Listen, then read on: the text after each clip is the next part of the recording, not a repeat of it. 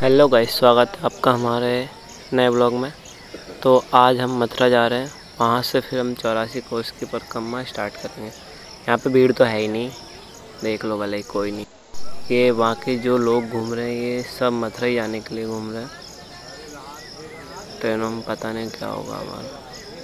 देख रहे हो, गाइस, भीड़ के नाम पे कुछ भी नहीं है। ये लोग थोड़ी ना है। पता नहीं क्या है। भक्त है।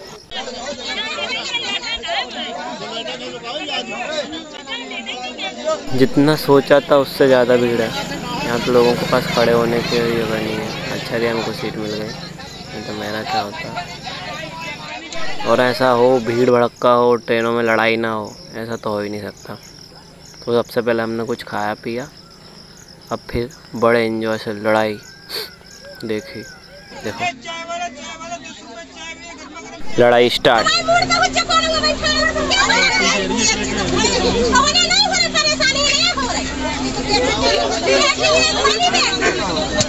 अब यहाँ बेचारी आंटी से किसी ने बहस नहीं करी तो उसको चुप होना पड़ा बेचारी। तो फाइनली हम मथुरा पहुँच गए।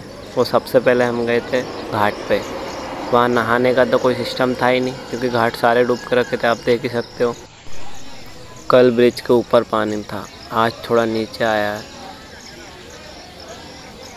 लोगों के आधे आधे घर डूब रखे हैं इधर।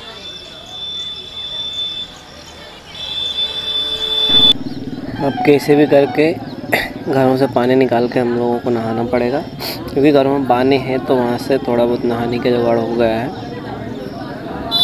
नहाने के बाद हमको जाना है भूतेश्वर मंदिर।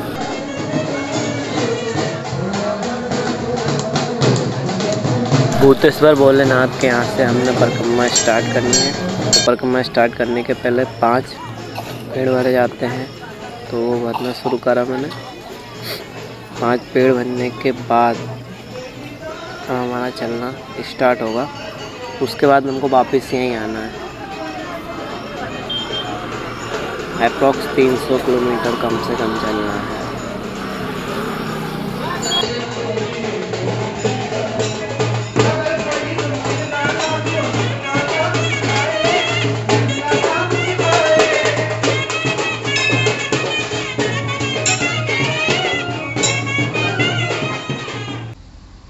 कोई ये नहीं बोलेगा कि मैंने वीडियो बनवाने के लिए दो थैले रख के रखे हैं ना।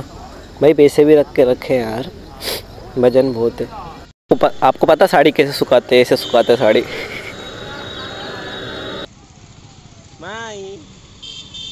हम मथुरा से निकलते वक्त पहला पॉइंट आता है बाबा गुरुदेव कौन सा है? इनका मंदिर जय गुरुदेव का। मंदिर बहुत ही वीआईपी बना कर रखा पता नहीं कितना पैसा अंधा पैसा लगा दिया इसने तो। ज़्यादा कुछ नहीं, बस पैरों में कंकड़ ही छुप रहे हैं। बाकी सब तो ठीक है।